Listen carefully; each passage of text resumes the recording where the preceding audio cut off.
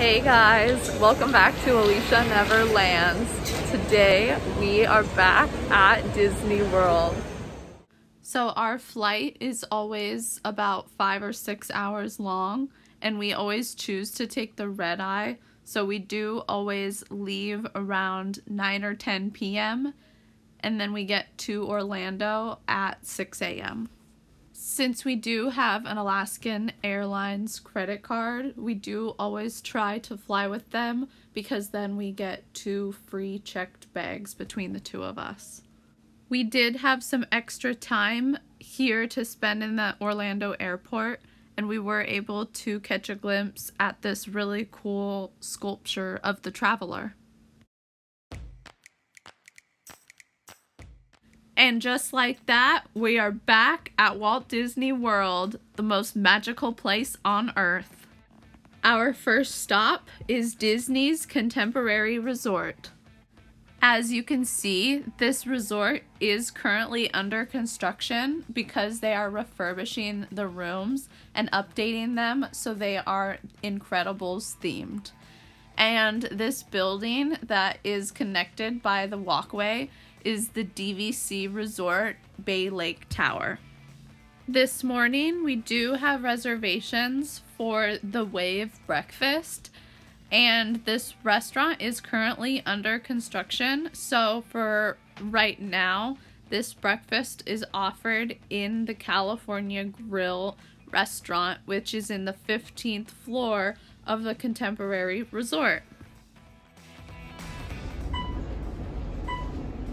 Hey friends, make sure you like and subscribe. And if you listen closely, you can hear a Disney character say what floor you're on.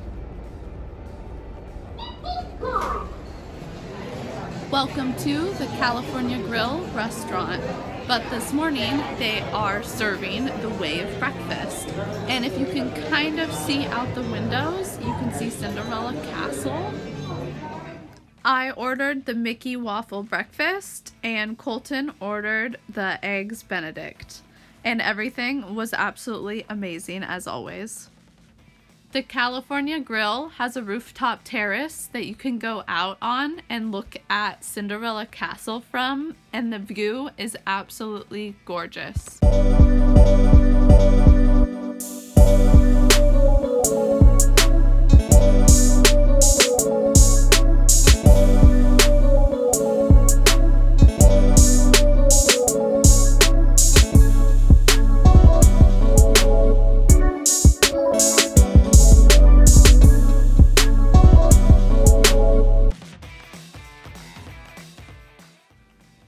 One of the main perks of this resort is that the monorail goes right through it and goes directly to Magic Kingdom and to Ticket and Transportation Center, so you can take the other monorail to Epcot.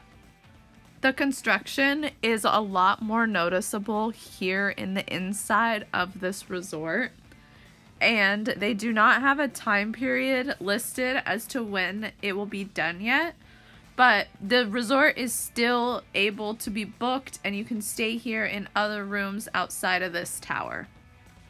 This is the Fantasia gift shop and every single Disney resort has a gift shop that includes Disney merchandise at.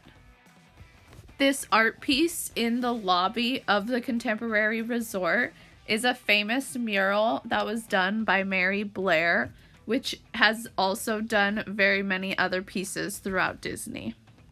Every Disney resort also has a Disney Vacation Club table at that you can get more information about it from. And this resort actually has a lot of different food options. Outer Rim is a bar and lounge, and Chef Mickey's is a character meal buffet, and the Contempo Cafe is a quick service restaurant these are some of the options that you can order from the quick service restaurant of Contempo Cafe and you can mobile order any of these options.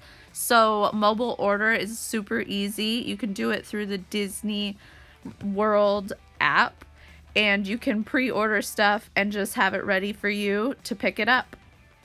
This resort also offers character drawings that do range from anywhere from $20 to $35 to get a picture drawn of you. They also have a fuel rod station here, which is a portable charger that you can buy for $30 and then swap it out for a fully charged new one for $3 each time you see one of these fuel rod stations. As we were leaving the resort, we did walk down one of the main hallways that was blocked off partially due to the construction that's going on.